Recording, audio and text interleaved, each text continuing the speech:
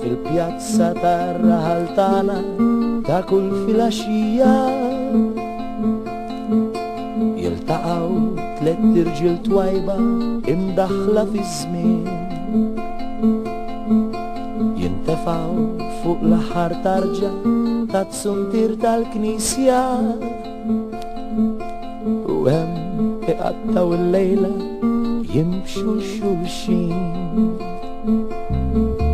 Giuseppi jgħidilhom l-istorja ta' meta kien baħri. Ta' kemm il-darba l-vapur li kien fuq kien sa' il Nirringrazzja lil mulej illi sissadni għaddej Kiku tafu kem battejtu minn xi xaddej Karmenu jajdilom l-istoria ta' meta fil-gwerra Kien salva erba titfal min tahti debri Tajtulu il-bel u fuq sidru waħlulu medalja joħroġa mill-but jorilu, għaxajru kiddi Nirringrazzja l mulej illi e s-sadni għaddej kiku tafu kem tu minn xiexaddej Paulino jajdilom li ju għatma kimmar skola Efa fil-forn jajn lil-missiru Qalb il-ħmira u t qir U l-lum biex jieħu r-relief Għax ma jafx jiffirma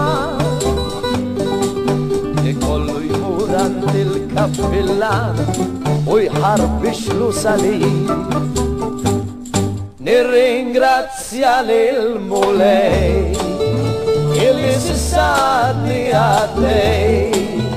Kiku tafu kem batej u mimxi xaddej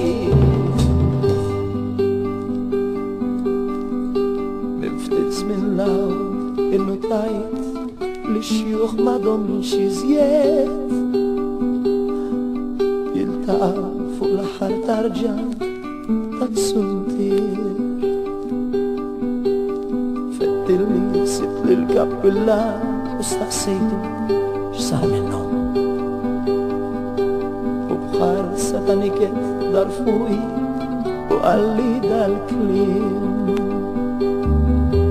Giuseppi Paulinu Carmenu madhom xiltaw. Bħal dari fuq laħar aħħar tarġa ta'